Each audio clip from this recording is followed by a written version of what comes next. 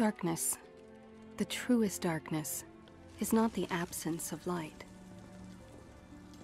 It is the conviction that the light will never return.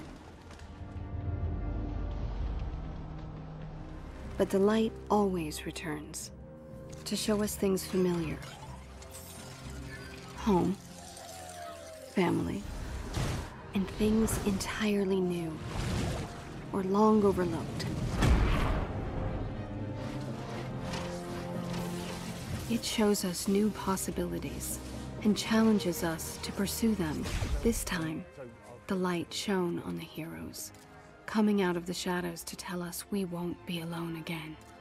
But these heroes were here the whole time to remind us that hope is real, that you can see it. All you have to do is look.